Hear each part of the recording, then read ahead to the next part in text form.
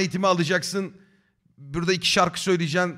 Bir sürü like alacaksın. Biz bak bu kadar emek veriyoruz. Sen ne? Laf mı soktun? Destek mi olmak istedin anlamadım ya. Merhaba abi yayınlar. Ajanslarla ilgili bilgi sahibisin diye soruyorum. Abi ajanslardan uzak durun. diye şu davalanacağım.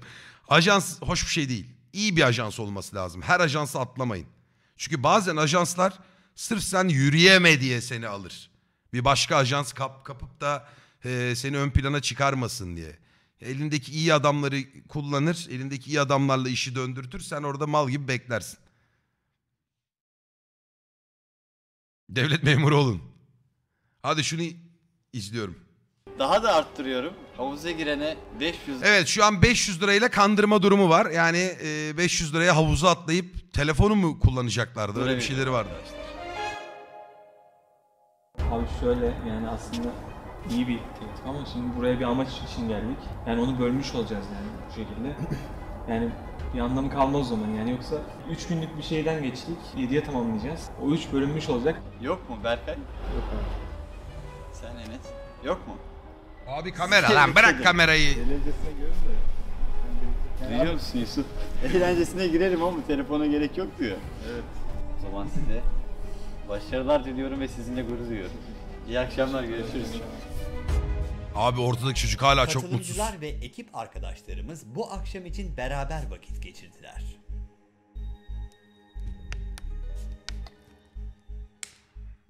Ama yine işin içinde bir oyun var. Aha. Dördüncü gün. Hayvanat bahçesine gittik. Oy. Şu anda bütün dikkat sende bak. Kulakları sende.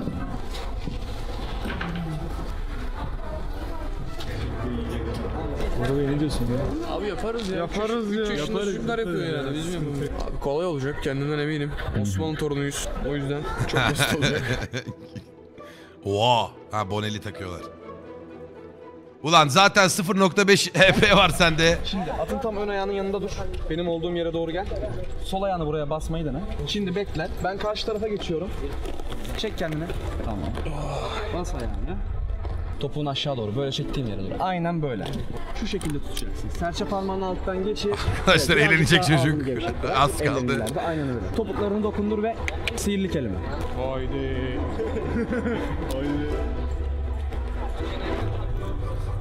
Fall damage. Çok asil hayvanlar değiller mi ya?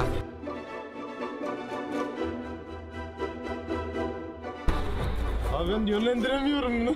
Kendisi kaldı. evet Enes nasıldı? Nasıl bir duyguydu? İyi garipti. Ee, ben uzun süredir motor kullanıyorum. Bu- Buna benim çok yüksek geldi bana. İyi bir deneyim oldu yani. İlk defa bindim ata. Yani biraz e, stres falan vardı. Kalbim böyle küt küt atmaya falan başladı ama bindikten sonra bir sıkıntı olmadı. Birazcık atla anlaşamadık sanki onu hissettim. Oyundan farklı çok zor ama güzeldi. Ben bayağı hoşuma gitti yani beğendim. Güzel bir tecrübeydi. Anlaştığımızı düşünüyorum az arkadaşlar. Ben bayağı alıştım ya. Evet sevdim ya güzeldi yani.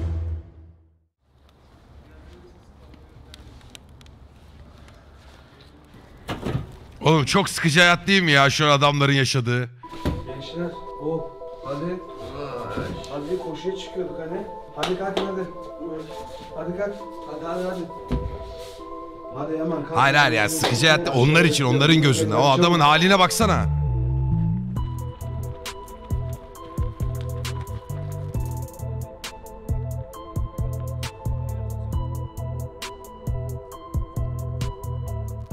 Üç.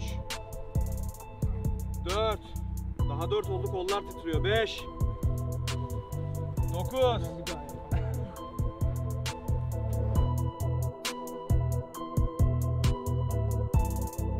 Ee, Helalle kaliteli yaşam abi yani. Sporunu yapıyorsun. Oh sosyal aktiviteler. Telefonla alakan yok. Sosyal medya ıvır zıvırıyla uğraşmıyorsun. Arkadaşlarınla göz göze yüz yüze oyun oynuyorsun. Sohbet ediyorsun. İşte bizim 15 yıl öncemiz.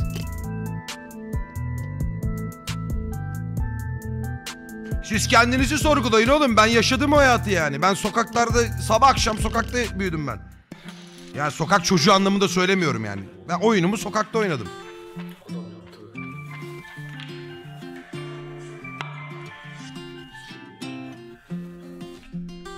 Korona var. Sanki korona olmadan önce her gün dışarıdaydın. Belki dışarıdasındır ama. Bizde. Tamam oğlum o zaman ne konuşuyorsunuz? Alo. Alo, ne yapıyorsun annem? İyi anne siz ne yapıyorsunuz? Ha, iyiyim çok şükür ya öyle aynı ya aynı gitmiyor aslında çok güzel gidiyor. Ha, Bayağı alıştılar. iyiydi yani bu, bu geçirdiğim günler falan. Gelince bambaşka bir Berkay göreceksiniz. Nasıl geçiyor? Güzel güzel. Artık mid lane oynamayacağım anne. İyi misin? Neler yapıyorsunuz orada? Dün şeye gittik ya, paintball'a falan gittik işte yorulduk o akşam. Sabah koşuya falan çıktık. Güzel. Sabah? 9 falan. Yemekler iyi mi? 10 numara 10 numara çok iyi. Oh, oh, afiyet olsun iyi. Arkadaşların olan ilişkin iyi mi? İyi herkes iyi ya. Senin için rehabilitasyon gibi mi oldu? Benim için burası çok iyi oldu ya. Bayağı iyi oldu. İnşallah öyledir. Getirir devam edersin artık oturma. Aynen aynen. Gö- göreceksiniz zaten siz. Annem süre bitiyor. Maksimum bir hafta veriyorum. Hadi görüşürüz. Özledik ya. Geleceğim abi inşallah. Ya çok garip değil mi ya? Herkesin annesi aynı tepkileri veriyor ya. Yani direkt anne konuşması diyorsun. Görüşürüz o zaman. 5 saniye var. Kapatacağım şimdi. Hadi görüşmek üzere. Tamam hadi kendine iyi bak anneciğim. Ses ediyorum hadi bay bay. Merhaba arkadaşlar nasılsınız? Öncelikle. Aa, son gün mü bu? 7. günü. Böyle internetsiz bir hayat. Nasıl oldu? Nasıl başladınız? Aslında güzel başladık ama ilk günler bayağı sıkıldık evde. Hani böyle sadece birbirimize bakıyoruz, oturuyoruz, kalkıyoruz yani. Başka bir şey yapamadık. Ondan sonra biraz daha iyi gitmeye başladı. Birkaç bir şey yaptık, aktivite yaptık falan. Ondan sonrası hızlı geçti. Alıştık zaten artık telefon olmamasına falan. Güzel gidiyor şu an artık ilk günkinden çok çok daha az arıyoruz telefonu neredeyse. Sinir yaptı mı sende ya da kötü hissetmene sebep oldu mu? Sinir yapma. Ya Ömer, derdini sikeyim ya, affedersin. Boşlukta gibi hissettim kendimi. Benim için ilk günden itibaren güzeldi yani. Hiç böyle yokluğunu aramadın. Yani ilk iki gün böyle biraz düşünüyordum da sonra hiç aklıma bile gelmedi yani. Peki Ömer'i hiç niye time outladınız böyle, oğlum? Adam "Aman şurada internete yorumunu yaptı ya. Şöyle şeyler yapayım. 600 tane time out attılar çocuğa. Nasıl geçti Adam düşündü onu yani. Hani ben şey mastürbasyon nasıl yapacağım dedi. Bende hayal gücü yok dedi ya. Sonra bakıyor falan. Öyle şeyler bayağı oldu yani. Peki şey sabah kalkmaları rahat dediniz. Sabah kalkınca çünkü bir rutininiz vardı. Şu an direkt gözümü açtığımda kalkıyorum yani. Çünkü yapacak bir şey yok. Ve hani uykuların böyle daha verimli olduğunu anladım. Az uyusam bile direkt uyanıp yapacağım şey yapabiliyorum. Uykumuz düzeldiğini düşünüyorum ben. İnternetten uzak kaldığınızda... O uzayda nasıl yapıyorlar diyen çocuk değil mi o? durumda oldu? Berkay. İlk sana attılar topu. Ya oyun kılavuzlarını falan hepsini ben okumuşum oynamadan önce falan ondan geçiyor yani. Daha öncesinde bir şey okurken genelde aklıma bir sürü bir şey oluyordu odaklanamıyordum. Odaklanmak için hani sadece o okuduğum şeyi düşünmem gerekiyordu. E şimdi direkt düşünebiliyorum. Tek farkı o oldu sanırım. Bundan sonra internetli hayatta neler Yani yapmayı bu- düşünüyorsunuz? Yani biraz daha kontrollü, abartmadan... Geç kardeşim onu, geç, olduğu geç. zaman ya da boş bir şey falan kullanmayı düşünüyorum. Aynı şekilde ben de biraz daha düzenli telefona bakıp uykuya dalarak değil de başka şekilde uykum geldikten sonra direkt gidip yatmayı düşünüyorum yani. Ben bitirdim ya. Kalmadı hiç bende. Oynamayı düşünmüyorum ya bundan sonra. Allah Allah! Tıp istiyorum bu arada. İnternetle uğraşırken aldığınız hazla aynı şekilde burada yaptığınız etkinlikler arasındaki hazın arasında farklar var mı sizce? Yani bence bayağı var. Çünkü aslında çok keyif almadan yapıyoruz. Yani tamamen bence alışkanlık olduğu için 4 saat, 5 saat gidiyor yani. Ama burada mesela ben bayağı ateş yakmaya sardım kendimi. Hani başına geçiyorum böyle falan. 2-3 saat geçiyor. Ben daha çok keyif aldım yani. Benim de yani geçirdiğim güzel bir haftaydı. Hayatımda geçirdiğim en güzel Adam telefonda geçirdi 4 saati küfredip 3 saat ateşin başında duruyorum dedi lan. Bayağı verimli harcamışsın kardeşim o üç bilgisayar saati. kalmıyordum normalde. Bir şey yapayım diyorum. Sonra zor geliyor yapmak istediğim şey. İlk gün geldiğinde biraz daha enerjisiz. Üf, niye geldik? Şimdi ise daha böyle netsiniz. Daha yeni kararlar almışsınız. Ve özellikle farkındalık oluşmuş. Ben kitap okumaya artık başlamayı düşünüyorum. Çünkü hani telefona Abi kitap okuyor musun? Vallahi yalan söylemeyeyim. Bayağıdır okumuyorum biliyor musunuz? Ve kendime sürekli kızıyorum o konuda. Ee, bir de şunu fark ettim artık kitap okuyamıyorum. Kitap okumaya başladığım an 10 dakika sonra uykum geliyor. 10 dakika sonra gidiyorum abi gözlerim kapanıyor direkt. Sarsa bile uykum geliyor. Bunu çözmem lazım ve kitap okumayı çok özledim. Ee, yani bilmiyorum birçok kez makaleleri, internetteki şeyleri, zımpıtları okurken bunu yaşamıyorum ama elime bir tane roman alıp yatağa ya da koltuğa düzgün bir ışığın altına oturup geçtiğimde bak net söylüyorum 11. 12. dakikada böyle oluyorum bak. Direkt uykum geliyor ya. Yaşlılıktan o. Bakmadan kitap okuyarak uyuyabildiğimi fark ettim. Yerine bir şeyler koymak lazım. Benim de hobileri daha fazla. Kitap okuyun oğlum vallahi okuyun. Çok çok verimli. Yani bir kere bak ben kitap okumaya uzunca bir süre ara verdim. Belki 2-3 senedir okumuyorum yalan yok. Türkçem gitgide geriliyor. Bir de bu internet alemin içindeyiz ya kısaltmalar, mimler, küfürler, şunlar bunlar. Diksiyonum falan kayboldu ya. Yani bazen cümle kuramıyorum. Onu fark ediyorum. Çok kötü bir şey. daha fazla hobi edinmek. Ben işte dediğim gibi bilgisayar bırakacağım. Şimdi gidince tamamen en azından sınava kadar. Günde Ya günde ne bileyim 20 sayfa, 30 sayfa oku ya. Diksiyon egzersizleri. Bir yarım saat kitap Ya oku. Diksiyondan kastım yani cümle kurabilme böyle e, bazen kullanmak istediğim kelimeleri unutuyorum. Daha çok ı demeye başladım. Daha çok es vermeye başladım konuşurken. Yoksa ben dümdüz çatır çutur konuşan adamımdır yani. Olur muhtemelen. Sonra ders çalışma uzun Yine. bir şekline gidecek. Sene sonunda eğer üniversiteyi de kazanabilirsem tiyatro ve dansa da yazılmak istiyorum. Berkay uç yani süpersin ya. Gerçekten çok şaşırdım. Hani tiyatro ve dans. Bende toplum karşısında konuşma korkusu falan da var. Onları da yeniyorsun. Oğlum hiç öyle gözükmüyorsun ama sen Hiç ya. düşünmemiştim böyle. Düşünce gerçekten çok güzel. Kendini kandırmış bu arkadaşımız. Evet, 7 günün sonuna geldik. Arkadaşlar sizi tebrik ederim. 7 güne sosyal medyasız, internetsiz, instagramsız ulaşabildiniz. Ee, hangi telefon kime ait biliyorum. Bu Berkay'ın, Enes'in ve Bora'nın. Hepsini şarj ettim biraz. Şimdi arkadaşlar telefonlarınızı açabilirsiniz. Bu deneyimi yaşarken, telefonlara tekrar e, kavuşurken dozunda kullanmayı size tavsiye ederim. Güzel bir detoks etkisi yaşadık. Ee, bu detoks bize nasıl kullanacağımızı öğretti aslında sosyal medyayı. Nasıl baş edeceğimizi öğretti e, yeni yüzyılın problemine. Kolay gelsin size.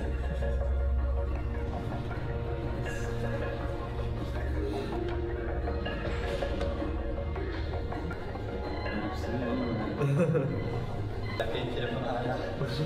Diğeri oyuna girdi lan. Renk kasıyor şu an. Bu arada sen kullanmıyor musun telefonu? Çok bir şey yokmuş ya. Nasıl yani? Bakası gelmedi mi? Sen ne diyorsun Enes? Ben abi sadece arayanlara baktım o kadar. Kaç kişi aramış? Bayağı aramışlar ya. Ee, Berkay? Babam aramış mı? Onun dışında bir şey. Ya seni yerim ya. Seni yerim ya. Mert'cim hoş geldin.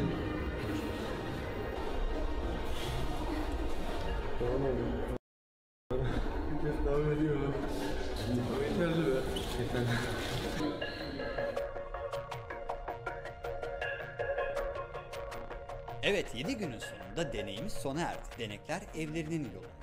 Bu 7 günlük süreçte deneklerin özgüvenlerinde yükseliş olduğunu, hayatlarındaki bazı şeylerin farkına vardıklarını ve bazı şeyleri değiştirmek istediklerini görmüş olduk.